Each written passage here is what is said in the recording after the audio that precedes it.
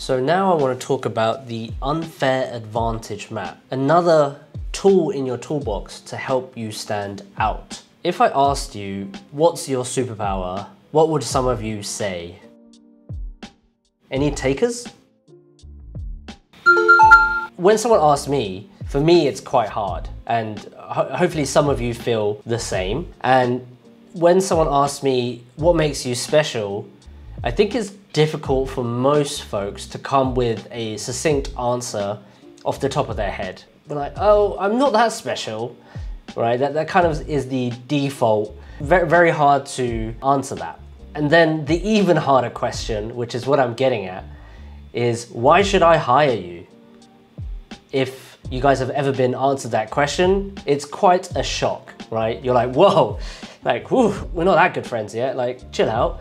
Also, questions around this topic, which is why do you think you're a fit?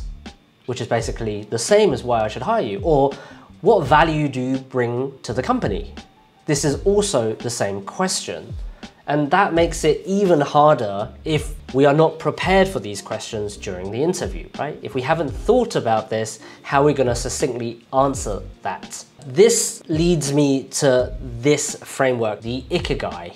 And the phrase itself means a reason for being or things that you live for, okay? It's four concentric circles, a Venn diagram, what you're good at, what you love, what the world needs, and what you could be paid for.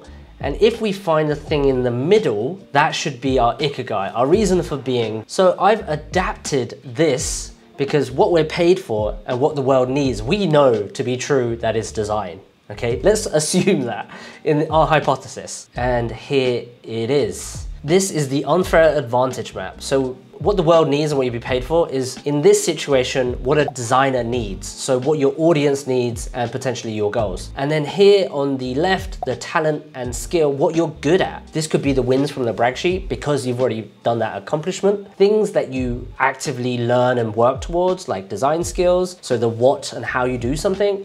And then the passion and interest. What do you love without payment or other external factors of motivation, things that you just do. So this could be your personality, your values, your interests, the why you do something, which we visited in the personal brand canvas. And it could help you answer questions that I've asked before. What is your superpower? What makes you special as a designer? Why should I hire you? Why do you think you're a fit for this company?